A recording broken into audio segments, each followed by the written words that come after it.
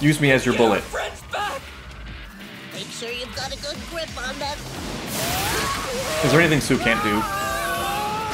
Whoa, what's this? Deku oh, lands so epically, even though it's because his arms are broken. Who are they? My computer is struggling. What's going on? The heroes are in the opening. It does feel like the forest arc is sort of coming to a close, and we're gonna take it back out into the world, maybe. While we were trying to protect Kacchan, our classmates What a had twist. their problems back at camp immediately following What's Mandalay's the message. twist? Was that the door? I guess Mr. Aizawa is back already. Looks like the woods came to us. Everyone, get back! I feel like you just walked into the wrong classroom. That's the guy who got free. Weren't they leaving? You're too slow. Whoa. Blood control. Oh, interesting. He's a bloodbender. Damn. The two most trusted pillars of the superhuman society are linked together. UA, the pinnacle of hero education, Right. and All Might, the symbol of peace. Right. But embarrassing incidents have damaged the world's trust in you both. People are so shaken that they've almost lost all faith in you. That's true. You know, I feel like it's one of those cases of live by the sword, die by the sword. If you are getting what you want through imagery, let's say, or through symbols, what's to stop the villains from doing exactly the same thing? All Might and other heroes have done a great job playing to people's emotions. And there is some part of it that's at least a little bit manipulative, although that's not exactly the best word for it. So in a sense, they, they created the seeds of their own destruction, especially with All Might, you know, fading out. And I feel like this is a real thing. Like people will capitalize so heavily on like story and spin. People correctly know that emotion is one of the best ways to reach people and influence people. And you gotta be careful with that, right? You gotta be careful relying on that, even if you think your purpose is for the good. Because that in itself is not the good, right? It's just a tool for your own your own ends, and anyone can exploit that tool. And on the other side of that, I feel like it's really important for people to be aware of the fact that having a strong emotion for a thing or feeling really good about a thing does not make that thing necessarily good. That often ideologies are just packaged that way, and they're very effective. Because it can be really seductive to fall in love with the symbolism of the thing, the sentiment behind the thing, without looking at that the really difficult nitty gritty stuff that you know a lot of the time is where the where the magic happens. So there's room in the society i think. Speaking of like societal movements last episode for a little bit less of like this picture this beautiful picture that's being painted because that that just leaves people vulnerable when they're trained to think that way. Imagine how they'll react when they find out you let a student get kidnapped. oh yeah that's really bad pr Not our classmates. all right ida It's no use, Hey. Flag. Mr. Aizawa! that's the proper reaction to aizawa Trying to provoke you, he won't talk. quirk Uh, stomping Aizawa, I think you got him. yeah You look at him, another. oh my god he stomped him into I fought mush one before. oh I left to direct our defense, but I ended up taking care of Koda. Look after him Oh, I no. go back to the front line. Koda feels responsible for a lot of things If there aren't many, then we should be fighting too. Yes, you need strength and numbers. No. Well that settles that We know about Bakugo, but they might be targeting others as well. not invisible girl though probably The only way we win this is by making sure you students are protected. I like how consistent all their scars are in the show from their previous battles. My arms are burning! Oh no, poor Shoji. His arms can't catch a break. Beat up little boy and you. You're on Shigaraki's kill list. You know he's powerful because he's got Pokeballs on his wrists. I've been thinking since Five minutes ago. much cuter if you just bled a little more. I Why don't you become more like Deku and less like Stain? Shoji's really shining in these episodes. She's crazy. Everyone has the same correct reaction to her. I'm not sure what your quirk is, but it had to do with those little marbles, right? The ones you'd stashed in your pocket. Do you know how to get them out though? They were so proud of themselves for rooting through my pockets that I thought I'd let them gloat. But allow me to explain a basic tenet of Sleight of magic. hand. Sleight of If I'm hand. flaunting something shiny. It's sleight of hand. It's because there's something else I don't want you to see. Magic. Oh, they're they're really in there. Forgive me. I do so adore a twist ending. You can't That's the do twist, huh? One last bow, and then the curtain falls. This guy's a real hand. you just got hit with a tummy beam. I've been waiting for this moment. Oh, Yama of all people. I kind of want him to take him though. Take him. Just take him. Take someone. Well, Yeah. tragedy? Checkmate. Yeah, have fun with him. Have fun with Bakugo in your in your compound or whatever. Clingy much? yeah. So they won, but also they didn't. This is kind of a L. I mean, considering what happened though, considering the surprise attack and everything, the fact that they were totally caught off guard and that these actually were legit villains, they have a lot to be proud of, even if it doesn't feel that way. Oh, yeah, and also, yeah, I guess there's this. Yeah, oh, yeah. Yeah, I shouldn't be celebrating. We were aiming to be heroes, but we failed. It's an oversimplified takeaway. It doesn't feel good, that's true, but I mean, they crushed it. Fifteen were unconscious and in serious condition due to Damn. the gas. Eleven others were says dead. Thirteen were unharmed, physically. One of us was missing. One of the six pro heroes was in serious condition because Oh, of good. a blow to the head. She's One alive. No! As I felt myself fading into unconsciousness, Damn, look at his arm. I remembered the harrowing words Tomura Shigaraki said to me. He warned them, yeah. I'll likely have to kill you. I feel like they're gonna be good friends. At some point. Well, they get to practice their quirks. Let's look on the bright side. We hear your silence. Why can't These reporters need to chill. Just stop. Has anyone been in contact with the families of the children you've allowed to be endangered? Playing right into the villain villain's hands. That training camp was meant to prepare students to handle villain attacks. The irony is shameful. We knew the League would resurface, but we lacked a fundamental understanding of their plans. They aim to destroy Hero Society. They're organized now. I think that's the big difference. All might put an end to most organized crime. We're all rusty. We've definitely gotten It's a complacent huge during peaceful times power vacuum realizing it. due to I All guess Might's weakness. down, all of us thought that we'd be riding the sweet life for good.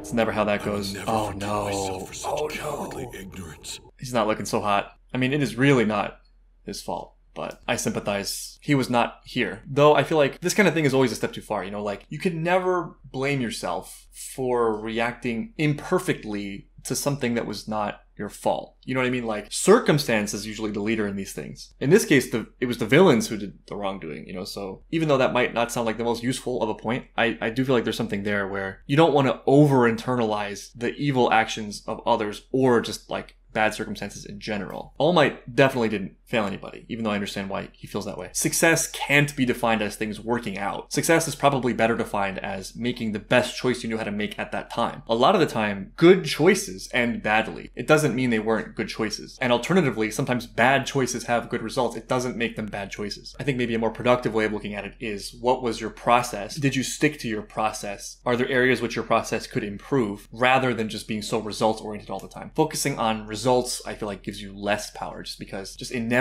there are so many things outside of our control. Focusing on a process or like guidelines takes some of that power back, at least a little bit. All Might does have mistakes in his process, but it wasn't getting relaxation. It wasn't trusting the students and teachers to go on a summer camp. But, you know, that's sort of his thing, you know, ultimate personal sacrifice to the plus ultra extreme. They've taken Bakugo and society's faith in heroes away from us.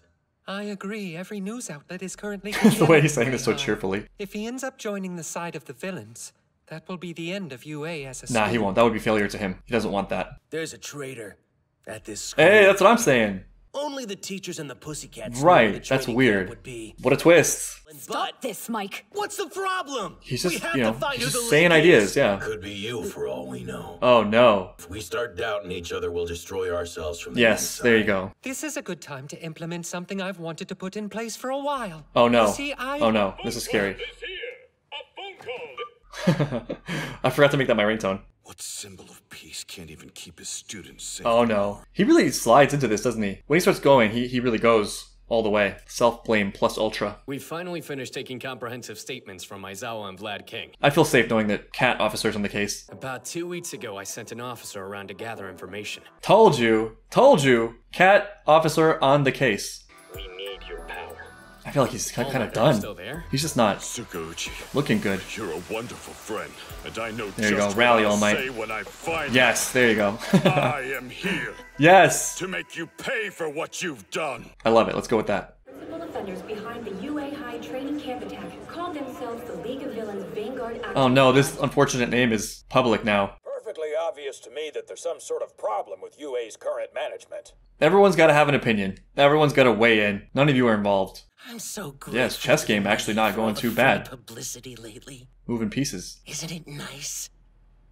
Katsuki Bakugo. That is the most quiet I've ever seen Bakugo. I was sure he was going to tell someone to die. It's almost creepy when he's quiet. Hey, Midoriya, good, you're finally awake. Did you see the news? Reporters are all over the school right now. He's the kind of guy I want to visit me in the hospital. You know what I mean? I mean, it's from all of us. It's a melon. Hey, we like melons around here. Jiro and Hagakure are still out. They were knocked unconscious Still. from that villain's poisonous gas. And Yaoyorozu took a pretty bad hit to the head. She's hospitalized here, though I just found out she finally woke up yesterday. So it's just us, though obviously we wish the whole class could be here. We need like a spiritual or emotional leader right now. Everyone's so down. was so close to being able to save him. I Come on, someone step up. him. Emotional leader. Had to. Who's it gonna be? Entire reason I have my quirk. Todoroki? It's exactly Tokoyami? like Mr. Aizawa said to me. Chaco? I couldn't save someone who was right in front of me. I mean, you literally had no arms. They were flapping behind you in the breeze. All right, then let's go get him. Hey, look at this guy. There you go. Aizawa said you lacked the self-confidence and judgment needed to make quick decisions. Well, look how much you've grown. you have our thanks, Yaoyorozu. Cute. Never miss the opportunity to recognize still in danger. growth. It's frustrating that I can't help you more than this. But it is really cool, actually. I think I mentioned that in the last episode, how it does feel like a very direct result of her training with Aizawa. You know, because he's just the best teacher of all time. And he always recognizes the potential of his students, and he knows how to cut right to it. I hate it. That painful feeling is Just play your role. you are played it really well. Being a hero. Yeah. Please don't worry. You can leave the rest to us. I really think this is one of the growing themes of the show. It's that it, it can't just be single hero doing everything. These are the future heroes. It's not just Deku. It's Deku plus squad. You should listen to what All Might said. We have to leave this to the professionals. It's not the right time for us to get involved. He's swinging back in the direction pretty hard. I heard my friend was targeted, and I just stood. Oh no, we got a civil war situation on our hands. So if I stand by and do nothing, I was just talking about class how unity. am I supposed to call myself a hero or a man? Just listen to me oh, for Oh a no. minute. I know what you're saying is right, but still, come on, Midoriya. He's still within your reach. I'm not sure this was the emotional or spiritual leadership I was talking about. Is what the what the what? Are you serious? I was getting pumped that Kirishima was the one to step up, but I did not expect it to go there. I kind of like it though. I mean, I am not against the rules, the hero rules, after, you know, having thought about it after what happened with Ida. But I like the spirit at least. You know, I think just something about that feels like a good coping mechanism. Even if that's not the right action, it's not the right thing. The why are we sitting around feeling is something that I respect. Though this is a very real danger of that where you don't want to be impulsive. It's just for me, I, I really can't solve my problems, my emotional problems, let's say, through thought. It just doesn't work for me. I think some people can do that, but I have very limited success in that way. Or when I do have success, it's kind of temporary. It feels like a band aid rather than like a deep fix. What helps me way more is taking action, no matter how small. That immediately forces me out of the emotion into like the real world. And one of the greatest benefits of that is that so many times the, the emotions or the things I have fear or sadness or anxiety about are not based on the reality. They're based on my reflections of reality, which are totally limited. So there's something very wasteful about all that rumination and anxiety. And to me, sort of seems to defeat the purpose of thinking through things anyway, because we never have the full story. Things are rarely as they fully appear to us. But this represents a very real danger of that, which is that you can end up being really impulsive. Like I'm a very impulsive person, and quite often I come to regret some of the actions I took towards ameliorating that that inner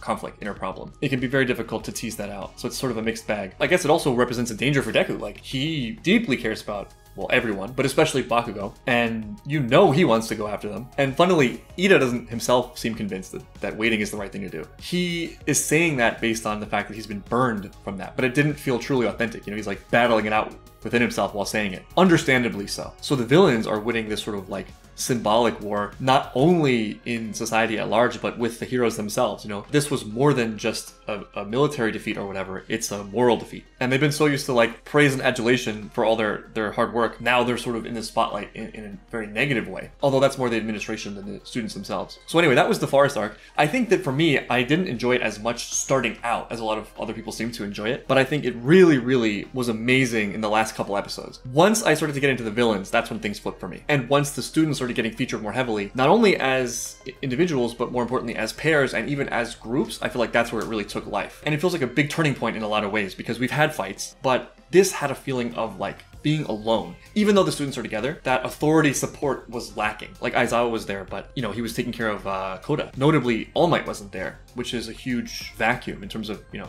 confidence that they can pull through. And so they're transitioning into this much faster than they feel ready for, which is kind of exciting. And so now we take this to the streets, I guess, and it's not just the villains that we've now developed a certain degree. but with Shigaraki, which is really cool. Funnily enough, I guess in this episode, there are two parallel scenes that are opposite each other. You have the heroes sort of squabbling. I mean, not really, but you know, they're not united. Oh, and also you have the teachers kind of like doubting each other and not trusting each other about, you know, who's the insider. But then you have these villains who are like hanging out. You know, they seem actually kind of tight especially considering you know how they first got together when they were just bickering and trying to kill each other. So definitely a shift in tone between the two camps. It's really fun. So what a twist! Ah, what a twist! Get it? That's the twist, right? Is it? So that's the end of episode 7. Before the video ends, I gotta give a very, very long overdue thank you to all my patrons for all the support, for making these series possible, for allowing me to try out new new series randomly, and just for being your, your awesome selves in general. I really could not do this without you guys. Personal shout out to those who joined the top tier on Patreon. Gabriel Barat, Alex Williams, Madison Martin, F4JD, Kelvin, and Adrian Ash. Thank you to you, thank you to all patrons, thank you to everybody watching, everybody for supporting, for being so awesome. Love you guys deeply.